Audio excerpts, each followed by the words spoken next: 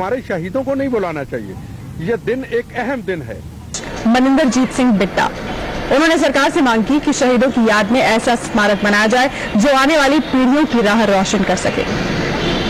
ये लोग कारगिल के शहीदों को श्रद्धांजलि देने इकट्ठा हुए हैं। ये पूरा कार्यक्रम अखिल भारतीय आतंकवाद विरोधी मोर्चा ने आयोजित किया।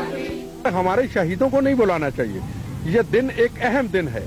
ये कुर्बानी का दिन है। इसको सबको याद, सरकार को कराना चाहिए, पब्लिक को कराना चाहिए कि कारगिल दिवस आने वाला है। हमने सबको श्रद्धांजलि देनी है। आज देखो, एक अजय हुजा जी का एक बेटा खुद वर्दी पहन के, इसके इसके मन के अंदर एक जज्बा है कि मेरे पिताजी ने शहादत दी।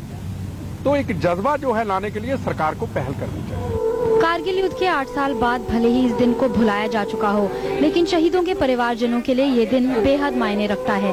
इन शहीदों के परिवारों को सरकार से कोई गिला शिकवा नहीं है।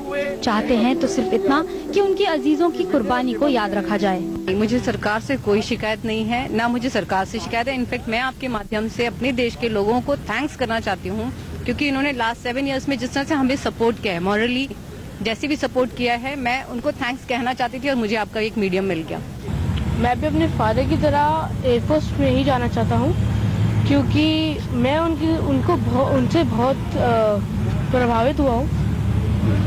और आई फील वेरी प्राउड ये स्मारक जो है, ये अंग्रेज़ों ने भारतीय सेना के लिए बनाया, जिसके ऊपर हम खड़े हैं। कितनी शर्म की बात है कि 60 साल हो गए हैं, हमारी सेना ने इतने बड़े बड़े युद्ध किए हैं, इतनी कुर्बानियाँ दी हैं, और अभी तक हम एक ही देश है, पाकिस्तान ने भी बना दिया है अपना एक स्मारक जो अपने सैनिकों को, शहीद सैनिकों को याद करने के लिए बहुत ज़रूरी है और देश में जल्द से जल्द ये बनना चाहिए। शहीदों की मज़ारों पर लगेंगे हर बरस मेले।